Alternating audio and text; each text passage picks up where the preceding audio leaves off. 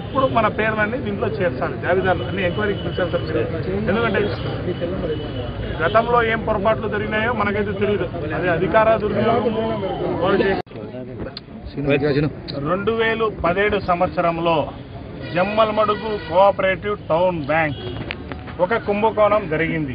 దాదాపు మూడు కోట్ల తొంభై ఐదు లక్షల నికరమైన డబ్బు వైట్ మనీ కష్టపడిన బ్లడ్ అండ్ మనీ దీంట్లో మోసం జరిగింది. దాంట్లో ఉండే చైర్మన్ కావచ్చు డైరెక్టర్ కావచ్చు స్టాఫ్ కావచ్చు. డైరెక్ట్గా మోసం జరిగింది. ఎంతమందికి మోసం జరిగిందంటే పదిహేడు వందల తొంభై ఒక్క కుటుంబాలకు మోసం జరిగింది.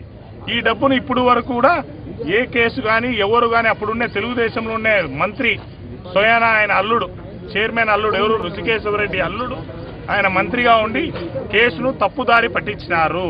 ఈ పొద్దుడు కూడా కేసు ఛార్జ్షీట్ వేసినారు. కానీ నెంబర్ కాలేదు. నెంబర్ కాకోకుండా విట్నెస్లు కూడా ఇప్పుడు వద్దు ఇక్కడ ఉండే ఎవరిని కూడా విట్నెస్లుగా చేర్చలేదు. డబ్బులు ఇచ్చిన ఎవరిని కూడా విట్నెస్లుగా చేర్చలేదు. చకా చకా చకా వేగవంతంగా కేసులు అయితే దానికి ఫైల్ క్లోజ్ చేసి ఈ పొద్దు వాళ్ళు ఏసీ రూమ్లో హ్యాపీగా ఉన్నారు. కానీ ఈడ కష్టపడి చాలా మంది వాళ్ళ చెమట వరిసి సంపాదించిన డబ్బును తీసుకుపోయి ఆయన ఋషికేశ్వర రెడ్డికి బ్యాంకులో ఇచ్చినారు. కానీ ఈ డబ్బునంతా వాడుకున్నాడు. వాడుకునే కట్టాల్సిన బాధ్యత కూడా ఒక పెద్ద మనుషులుగా వీళ్ళందరూ చలామణి అవుతా రాజకీయ పెద్ద మనుషులుగా చలామణి అయితా కట్టకోకుండా ఇప్పుడు లేదు. కానీ ఇప్పుడు ఈ కేసుని పోలీసు వారికి మళ్ళీ సిబిసిఐడి ఎంక్వైరీ చేయమన్నాము. ఎంక్వైరీ చేసి ప్రతి ఒక్కరు డబ్బులు ఇచ్చిన వాళ్ళు నిజంగా ఇచ్చినారా లేదా నిన్నైతే ఒక ఎగ్జాంపుల్ ఒక వ్యక్తి డబ్బు ఇచ్చినాడు కోర్టుకు పోయినాడు. అతనికి ఆ స్తోమత లేదంటారు డబ్బు ఇచ్చే స్తోమత లేదు. ఇదే మనం లో డబ్బు ఇవ్వలేదు డైరెక్ట్గా అన్ని అకౌంట్ ట్రాన్సాక్షన్ అంతా అకౌంట్ ట్రాన్సాక్షన్ అనేది టౌన్ బ్యాంక్ సొసైటీ. కాబట్టి అంతా అకౌంట్ ట్రాన్సాక్షన్ జరిగింది. ఇక్కడ చెక్కులు డిపాజిట్లు దాదాపు రెండు కోట్ల డిపాజిట్లు ఉన్నాయి. కానీ ఈ పొద్దు బ్యాంకులో మాత్రం నలభై లక్షలే ఉంది. బంగారు ఉంది. ఆ బంగారు తరఫున లోన్ తెచ్చుకున్నారు. ఆ బంగారు లేదు. బయట ఏమైనా చిన్న చిన్న చెక్కులు ట్రాన్సాక్షన్ జరిగిన డబ్బులు ఇచ్చి ఆ చెక్కులన్నీ కూడా బౌన్స్ అయిపోయాయి రకరకాల విధంలో పేద ప్రజల్ని చాలామంది బాధపడుతున్నారు ఈరోజు. వీళ్ళను కఠినంగా శిక్షించాలి. ఈ ఈ కేసుని కరెక్ట్గా నడిపించి ప్రతి ఒక్క డిపాజిటర్ని ఇంట్రాగేషన్ చేసి వాళ్ళ డబ్బు ఎంత ఉందనేది కూడా మెన్షన్ చేసి కోర్టుకు సబ్మిట్ చేయాలని నేను పోలీస్ వారిని ఒకటే ఒకటి వినపదిస్తున్నాను రేపు ఎస్పీ గారి త్రూ సిబిఐ కూడా సిఐడి కూడా ఇవ్వాలని మేము కోరుతున్నాం. ఎందుకంటే కోటి రూపాయల వ్యవస్థ దాటితే అది సిఐడికి పోవాలి. కానీ ఈ మూడేళ్ళలో గడిచిన మూడేళ్ళలో సిఐడికి కూడా కేసు ఇవ్వలేదంటే ఎంత బంధుప్రీతి చూపించారో ఈ మాజీ మంత్రి మీకు అందరికీ తెలుస్తోంది.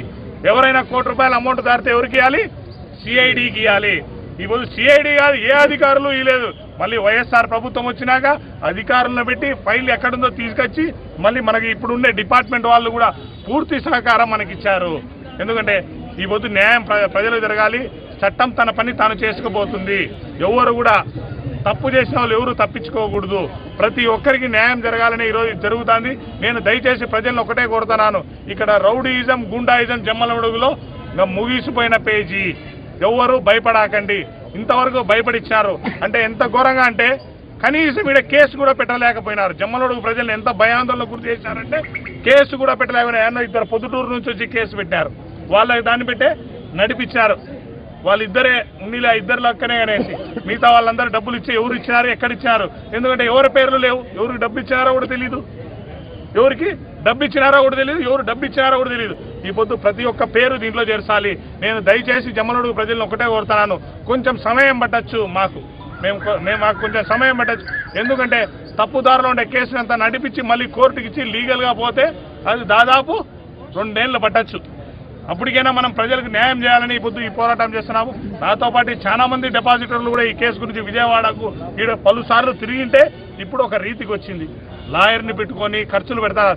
నిజంగా ఈ పొద్దు కూడా మేము ఒకటే ఒకటి అడుగుతున్నాం. ఆ Adinarayana Reddy and co party వాళ్ళ వాళ్ళు చుట్టాలు ఉన్నారు కదా ఋషికేశ్వర రెడ్డి సొంతం భావనే కదా వాళ్ళకి ఈయన చెప్పి ఆ నాలుగు కోట్ల రూపాయలు ప్రజలకు ఇస్తే మేము ఇప్పుడు కూడా ఈ కేసులు పెట్టము మాకు ఈ బాధ వద్దు. కానీ ఆయన ఇప్పుడు కూడా పట్టలేదు వాళ్ళేమో ఏసీ రూమ్లో బాగా కూర్చొని మూడు పూట్ల చికెన్ బిర్యానీ తింటా హ్యాపీగా ఉన్నారు. కానీ మేము ఇప్పటికి కూడా సమయం పాటిస్తున్నాము. పోలీ అధికారము పోలీసుల ద్వారా కేసు పెట్టి చట్టంతో న్యాయం జరగాలని ఒకటే ఒకటి కోరుకుంటాం ప్రతి పేదవానికి జమ్మనోడు ప్రజలకందరికీ న్యాయం జరగాలని కోరుకుంటున్నాం ఈ కేసుని కఠినంగా వివరించాలని డిఎస్పీ గారిని ఎస్పీ గారిని కూడా కలుస్తున్నాం. సిఐడి గారిని కూడా ఆయన పైనుండే విజయవాడకు పోయి సీఎం గారికి కూడా రిప్రజెంటేషన్ ఇస్తున్నాము. ఇచ్చి హండ్రెడ్ పర్సెంట్ దీన్ని దర్యాప్తు జరిగి ప్రజలకు న్యాయం జరగాలని కోరుకుంటున్నాను ఈరోజు